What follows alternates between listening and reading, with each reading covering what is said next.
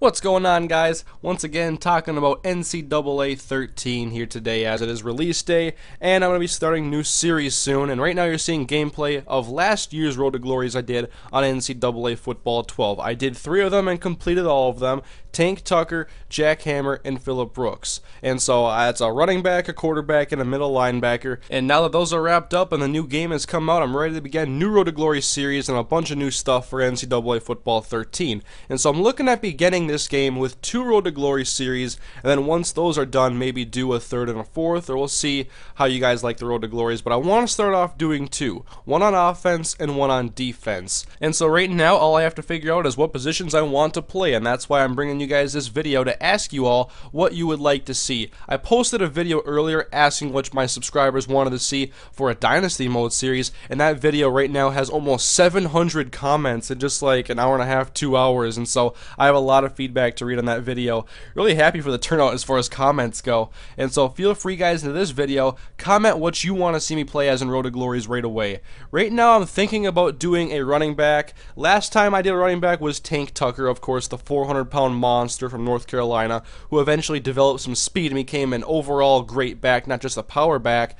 And so I've always wanted to do probably a scat back series, something like that.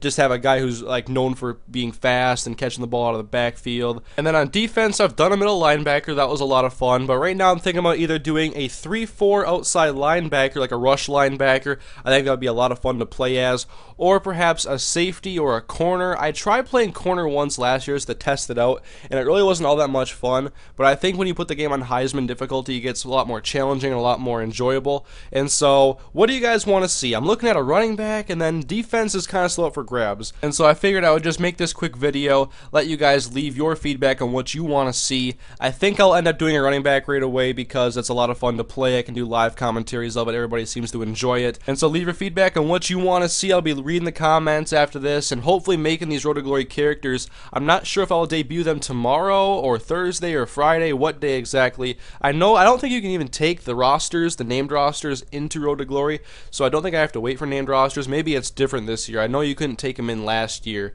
So I'll read the feedback on this video, read the feedback on my Dynasty video, and I'll debut new series at the latest I would say by the weekend, but I would think I would have them out sooner than that because I want to get rolling on these, start my Dynasty mode, start my new Road to Glories. And so anyways, guys, leave a like on the video, please, and leave a comment on what you want to see me play as in my first two Road to Glory series that I'll be debuting this week. So anyways, guys, thank you for watching, looking forward to your feedback, and I'll see you guys later.